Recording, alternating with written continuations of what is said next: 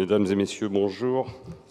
Je veux d'abord en, préambule euh, exprimer mes remerciements euh, aux organisateurs de ces deux journées de réflexion sur la protection du patrimoine euh, culturel subaquatique pour m'avoir invité à, prendre la parole devant une aussi vaste assemblée. Alors pour ma part, je vais essayer de rapidement esquisser ce que sont les principales menaces qui pèsent sur le patrimoine immergé. On l'a dit ce matin, la mer couvre 71% de notre planète. On a dit et redit bien souvent ici à l'UNESCO qu'elle est aussi le plus grand musée du monde et curieusement, à une époque où chacun d'entre nous trouve logique euh, de fermer sa voiture lorsqu'il la quitte, de sécuriser euh, son appartement et d'équiper nos musées de systèmes électroniques particulièrement performants, on constate que ce plus grand musée du monde ne bénéficie d'aucune protection particulière. Il est ouvert à tout vent. Euh, on n'en contrôle quasiment jamais les accès et aucun système de sécurité ne permet de vérifier euh, la présence d'intrus. Pire, contrairement à beaucoup de musées, on ne connaît pas l'inventaire exact des richesses du patrimoine qui se trouve sous les océans. Trois menaces pèsent de manière récurrente sur ce patrimoine immergé. On peut globalement euh, euh, les diagnostiquer comme tels, le système des concessions commerciales, les activités humaines, et puis euh, plus généralement ce à quoi on pense d'abord quand on parle de protection du patrimoine, euh, le pillage. Alors prenons-les dans l'ordre. Les concessions commerciales, c'est un système très ancien. En Europe, on trouve les premières concessions commerciales au XVIIe siècle. Mais la singularité des concessions commerciales du XVIIe siècle ou du XVIIIe siècle, c'est qu'elles étaient signées directement par les propriétaires des bateaux perdus. Ce système euh, a largement évolué au XXe siècle en Europe, et tout particulièrement après la Seconde Guerre mondiale, où il fallait trouver une solution rapide pour essayer de libérer les ports des risques euh, causés à la navigation par les, bateaux coulés au cours de la guerre. Ce système, euh, malheureusement, a connu des dérives, puisque après la Seconde Guerre mondiale, régulièrement, euh, ces concessions commerciales euh, ont été quasiment des systèmes ouverts, c'est-à-dire que non seulement on concédait certaines épaves, mais en plus on accordait une concession très large qui visait, vous avez ici un document qui montrait qu'on concédait la totalité des épaves dans la zone, qu'elles soient de la Seconde Guerre mondiale ou qu'elles soient de la Première et parfois plus anciennes. Ce système avait perdu un peu de son importance euh, ces dernières années et puis il a repris. On a de nouveau des concessions commerciales depuis le début des années 2000. Le système euh, recommence à se généraliser sous un prétexte économique, à savoir la récupération de cargaisons euh, métalliques importantes. À une époque où la raréfaction des métaux précieux se fait sentir, on a trouvé légitime à nouveau d'accorder des concessions euh, sur, ces épaves dont la cargaison laissait supposer euh, des possibilités d'exploitation, nickel, euh, etc. Et, souvent, dans, ce cadre, on a assujetti les concessions commerciales à une espèce d'obligation à préserver l'épave.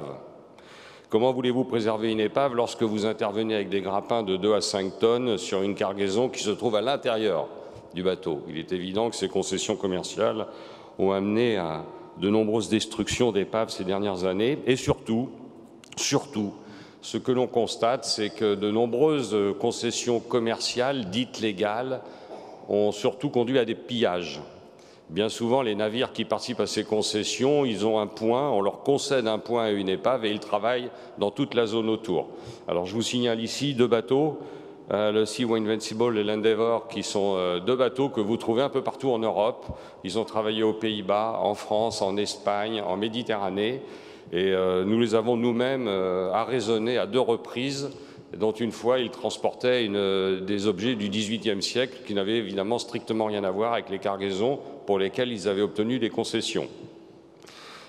C'est un, un, phénomène dangereux qui s'est multiplié, et d'autant plus que euh, pratiquement aucune autorité, au-delà de l'accord de la concession qui se fait sur un dossier, mais aucune autorité ne va jamais vérifier sur quel site travaillent ces bateaux qui bénéficient de concession.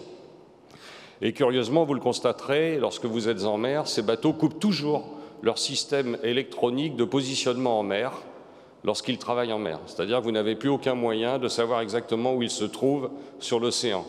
C'est généralement, si vous êtes dans un commerce honnête, vous n'avez pas de raison de couper votre système, votre transpondeur électronique qui indique à chacun la position de votre bateau sur la mer, surtout si vous avez une concession commerciale en bonne et due forme. Donc je vous invite à vous méfier de ces concessions commerciales qui ont contribué beaucoup à la destruction d'un grand nombre de sites sur les rivages européens ces dernières années. Les activités euh, industrielles, alors il n'est pas évidemment, euh, aucun d'entre nous, je pense, n'envisage sérieusement de limiter les activités euh, humaines, les activités industrielles en mer, simplement elles sont généralement relativement mal encadrées. ces activités ont notablement conduit depuis une trentaine d'années à la destruction, là je vous ai amené quelques photos d'épaves pulvérisées, la photo en bas à gauche, une épave euh, du XVIIe siècle, pulvérisée lors de travaux de dragage portuaire. Et à droite, une cargaison euh, de lingots de plomb euh, du XIXe siècle, également pulvérisée lors de travaux de dragage. Donc les, dragages avaient été autorisés. En revanche, la destruction d'épaves n'était pas prévue dans le contrat. Et lors de ces deux destructions, à aucun moment les autorités n'ont été prévenues de la découverte d'épaves historiques par les concessionnaires. Autre, activité, euh, dans les activités industrielles, euh, autre activité difficile à surveiller, euh, les extractions de granulats marins. ces extractions de granulats marins se sont multipliées. Les granulats d'origine terrestre, on en trouve de moins en moins.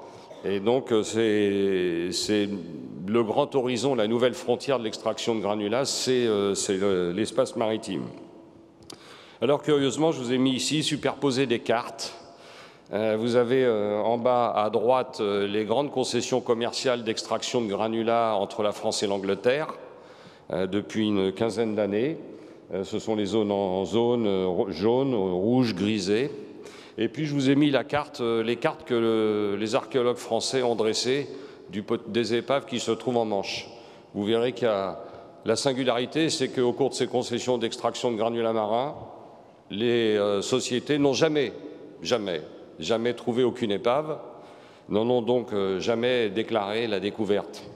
On peut s'en étonner, ou alors il faut beaucoup de génie quand on, quand on extrait du granulat marin pour trouver le moyen de passer systématiquement entre les épaves sans jamais les découvrir.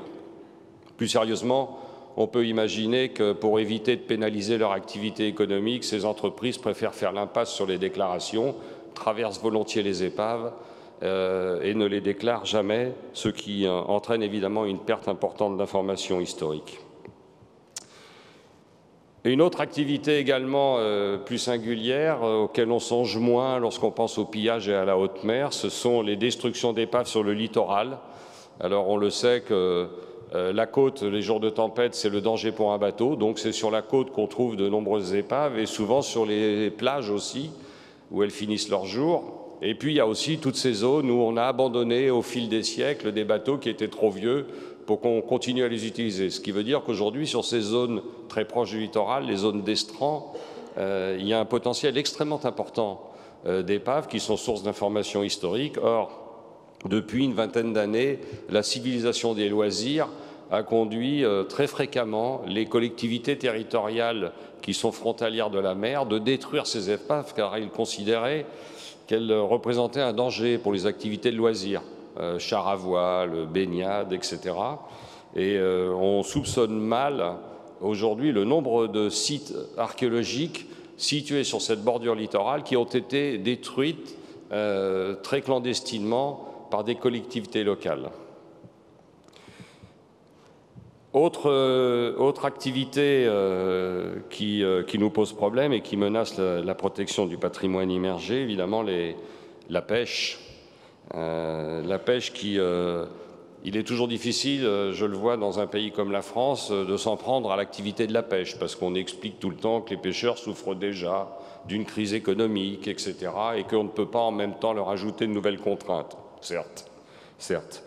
Toutefois, il faut constater que les pêcheurs sont à l'origine euh, de récupération ponctuelle par leur filet et leur chalut euh, d'un très grand nombre euh, d'épaves et de leur destruction.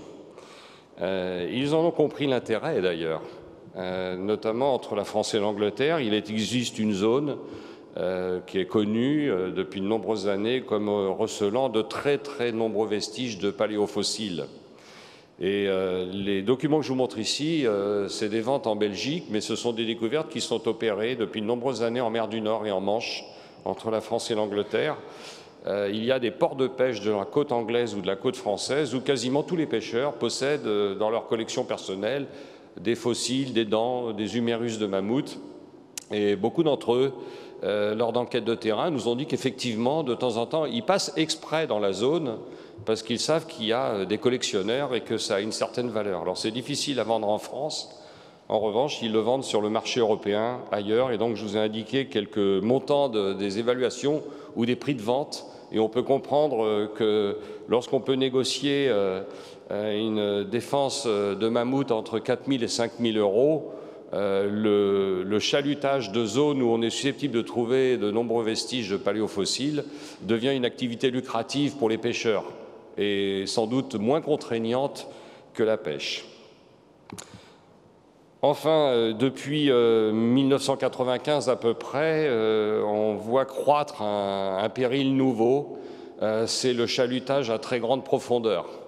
Alors ces épaves qui sont à très très grande profondeur, au-delà de 200, 300, 500 mètres, au début de ma carrière, il y a 35 ans, on disait que c'était notre réserve de musée. C'est les épaves où on irait un jour, qu'elles étaient là bien protégées par leur profondeur même, qu'elles étaient inaccessibles. En fait, le monde a changé. Et les chalutiers de grande pêche, euh, aujourd'hui, euh, ratissent les fonds jusqu'à 1500, 2000 mètres de fond. Euh, cela conduit à, des destructions assez systématiques. Alors, je vous ai amené quelques photos ici, très récentes, hein, puisqu'on les a réalisées il y a trois semaines. Donc, ce sont des épaves qui sont situées dans la zone 400-500 mètres de fond, où vous voyez ici donc des épaves contemporaines, Première, Seconde Guerre mondiale ou 19e siècle, euh, qui sont aujourd'hui totalement prisonnières euh, des chaluts. Alors, première chose, euh, les chaluts contribuent à détruire une partie de l'épave, puis se retrouvent bloqués par l'épave et l'épave devient définitivement inaccessible.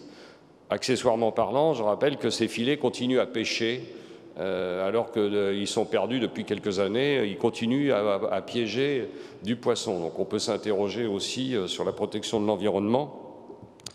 Euh, et là, je vous ai amené aussi une photo très récente, puisqu'on l'a faite il y a 15 jours aussi. Euh, c'est une épave romaine par 334 mètres de fond, euh, où l'on voit très bien. Donc c'est une épave romaine, c'est un ensemble homogène, c'était un talus d'amphore, et il y a quelques mois, un chalutier est passé, la porte du chalut est passée directement au centre de l'épave, qui est aujourd'hui littéralement pulvérisée. L'épave est disséminée sur plusieurs centaines de mètres carrés.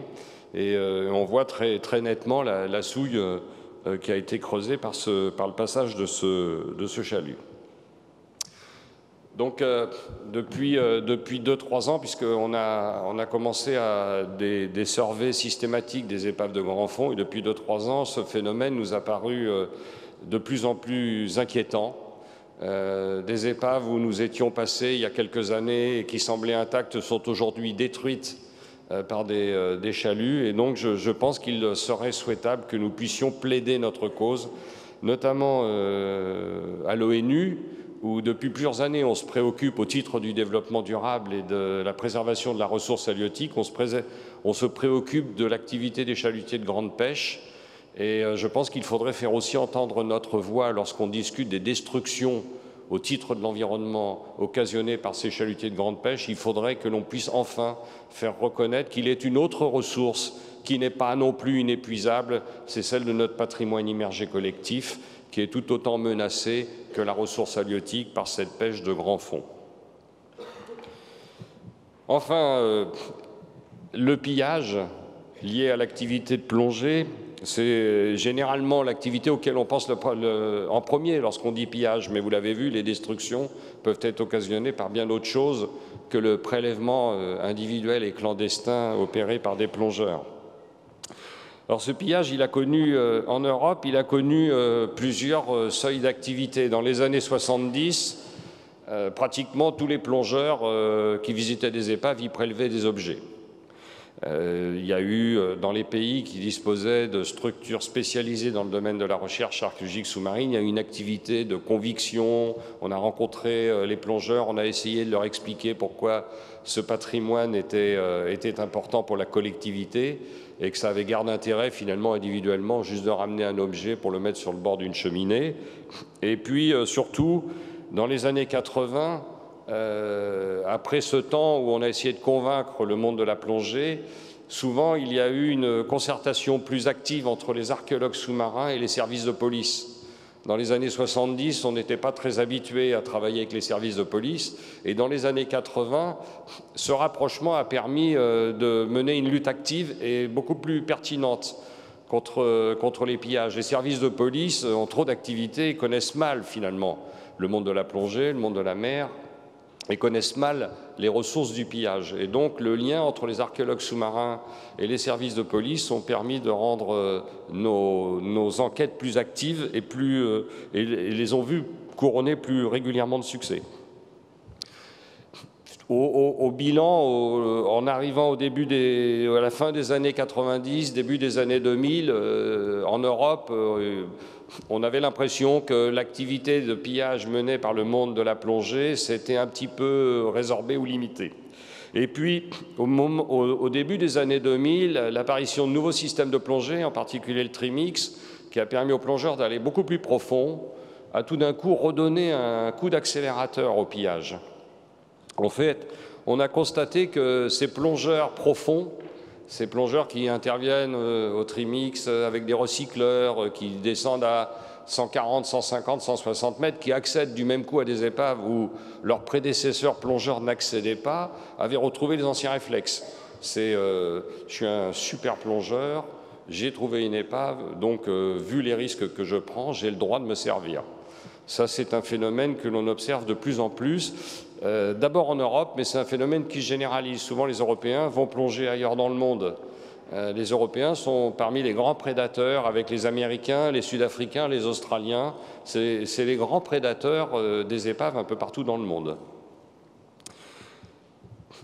Et puis, euh, lorsqu'on parle, on parle de plongeurs, c'est un peu anonyme, hein, les plongeurs, euh, il y en a 130 000 en France, donc euh, dire les plongeurs, on indique et on montre personne du doigt, mais on se rend compte que ce, ce pillage peut être mené aussi par des entreprises. Alors évidemment, on a parlé ce matin, on a parlé de, de la Nuestra de las Mercedes, il en est d'autres comme le Polucce, euh, en Italie qui a fait l'objet d'un pillage et il n'a pas été conduit par des plongeurs anonymes mais par une société euh, ayant pignon sur rue, une grande société industrielle. Donc euh, vous voyez que ce phénomène peut être assez largement représenté. Tout cela, j'ai rappelé l'activité des Européens dans le monde, des Australiens, Sud-Africains, Américains, de ces plongeurs qui, qui, vont dans le monde entier pour piller ça a trouvé aussi un nouveau débouché parce qu'avant, ils essayaient de vendre à proximité de chez eux. Donc pour les services de police, pour les archéologues, c'était plus facile de les localiser. Aujourd'hui, on a, vous l'avez rappelé, Monsieur le Président, ce matin, on a d'autres solutions, eBay, Internet. Et effectivement, vous avez rappelé que vous aviez regardé rapidement. De fait, euh, il ne euh, faut pas chercher longtemps sur Internet ou sur eBay pour trouver des collections euh, qui sont à vendre. Et c'est comme ça qu'on voit s'écouler aujourd'hui euh, des collections du monde entier sur Internet. Elles changent de main très rapidement, parfois dans le temps d'une journée, et puis euh, laissent quasiment aucune trace. Ce qui livre l'ensemble du patrimoine mondial par ce biais international, le livre au pillage et à la revente de manière très facile. Alors, pour faire face à ça, de, de quels moyens dispose-t-on? Alors, de services internationaux de police, comme Interpol, euh, avec qui euh, nous avons, euh, nous, travaillé depuis quelques années, mais Interpol a des moyens extrêmement limités. Je crois qu'il doit y avoir 12 spécialistes pour l'ensemble des biens culturels, hein, pas seulement des biens culturels maritimes, à Interpol, ce qui est quand même très peu à l'échelle de la planète. Mais on arrive quand même à des succès, puisqu'on a pu, nous notamment, dans le cadre de ces activités de police, faire publier des documents pour euh, interdire à la revente euh, des pièces provenant d'un trésor romain euh, pillé en Corse. Alors, toujours à l'international, puisque le pillage, c'est des gens qui voyagent. avant, on pillait devant chez soi. Aujourd'hui, on va piller de l'autre côté du monde, euh, qu'on peut vendre grâce à Internet dans la journée, un objet trouvé par un Français à Madagascar va être vendu à un Américain ou un Sud-Africain. Pour faire face, euh, il faut nécessairement avoir une législation internationale. Euh, c'est pour ça que je ne peux que, que me rallier à, à ce qu'a dit euh, Ulrike Guérin, c'est-à-dire de vous proposer de ratifier la Convention UNESCO de 2001. Ça, elle crée au moins un cadre collectif et commun. On ne peut pas dire je ne connaissais pas la loi, puisque la loi sera la même pour tout le monde, parce que très souvent, beaucoup de Britanniques qui viennent piller en France disent ah ben oui, mais la loi anglaise c'est pas exactement la même chose. Alors on ne savait pas que la loi française protégeait les épaves. Donc je, je crois qu'il est important aujourd'hui euh, d'essayer d'avoir une démarche collective. Ce patrimoine nous est commun c'est en commun qu'on pourra le défendre. Merci.